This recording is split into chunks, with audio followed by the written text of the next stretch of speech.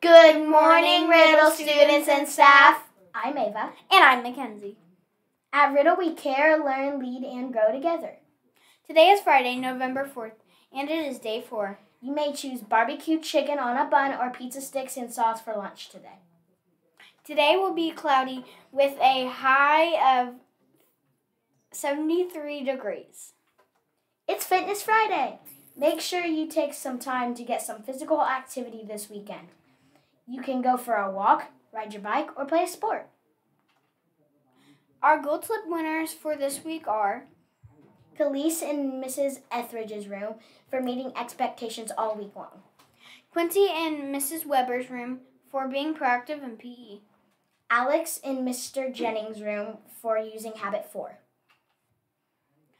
Bryce in Mrs.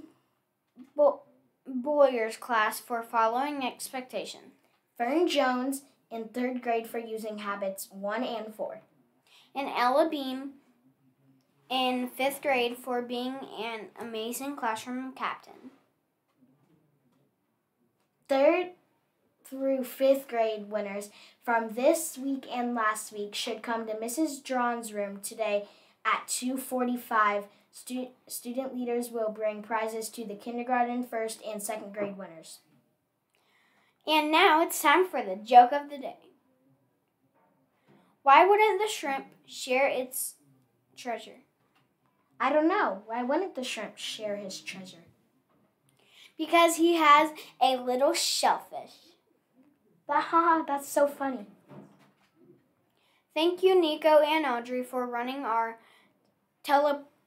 teleprompter. Have a fantastic Friday, everyone.